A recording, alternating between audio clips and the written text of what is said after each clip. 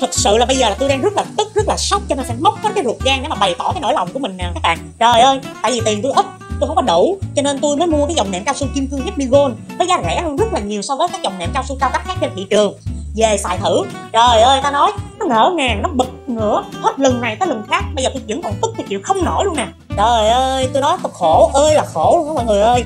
Người ta thì sử dụng cái vải 2D 3D hay là cái vải làm mát cao cấp làm niệm là được rồi. Đằng này ngựa ngựa, xài cái gì súp gấm tự nhiên mềm mịn để mà làm áo vải. Rồi còn bày đặt gắn thêm cái khóa kéo vô để mà dễ dàng cởi ra, không biết làm cái chi nữa. Làm cho tôi cực kinh khủng luôn. Hai, ba tuần phải tháo ra để giặt. Bộ thấy tôi rảnh quá kiếm chuyện cho tôi làm cái gì. Rồi giờ là tới mấy má nhân viên tư vấn lên thớt với tôi nè. Bữa đi mua thì tư vấn gì mà nệm có hệ thống lỗ thoát ở cả hai mặt giúp thoáng khí. Rồi sao? Về nhà tôi xài hết hai tuần rồi. Tôi chờ tôi trong, tôi mòn như hòn nhọn phu luôn. Cuối cùng thì sao? Không thấy thoáng khí, mà chờ hoài thì cũng chả thấy ba cái mùi mồ hôi hay là mùi cơ thể, hay là ba cái mùi ẩm mốc nào bị ứ động lại. Lúc trước nha tôi xài ba cái niệm cũ là không từng hai tuần đâu, một tuần nó dính đầy mùi hết rồi. Còn bây giờ hả? Chờ hoài, chờ mãi mà chả thấy đâu. Nằm thì cứ thấy mát mát, chả thấy hầm bí ở chỗ nào. Vậy là tư vấn trung thực dữ chưa? Ủa ủa sao từ đầu không nói vậy đi? Để người ta khỏi chờ rồi cái câu chuyện này nó mới là kinh khủng nè. Tôi nói thiệt, tôi là nhân viên văn phòng, mới cho nó cái chuyện mà gọi là đau nhức lưng, đau mỏi cổ gai gáy đó với tôi là cái chuyện bình thường như cơm bữa luôn nhưng mà hồi đó tôi sống được là nhờ có ba cái vụ massage body, hay là gội đầu dưỡng sinh gì đó, làm cho tôi ngủ ngon một tí xíu, tôi đỡ đau được tí xíu.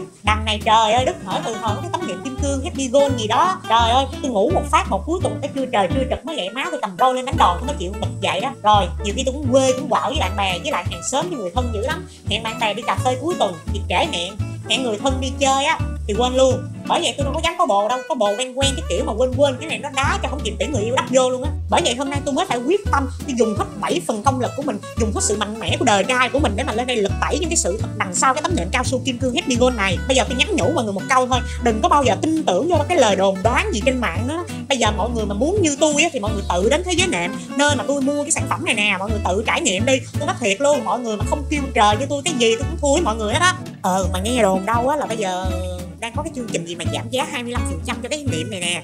Với lại thêm tặng kèm ờ, uh, 10 phần quà hấp dẫn lần đó. Ừ có ghé trải nghiệm thì ghé lẹ lẹ đi nha chứ không hết ngày hết tháng là không còn cái chương trình này đâu mà trải nghiệm. Thế giới nệm, nệm siêu êm giá siêu mềm Muốn ngủ ngon đến ngay thế giới nệm Truy cập website nhận ưu đãi ngay.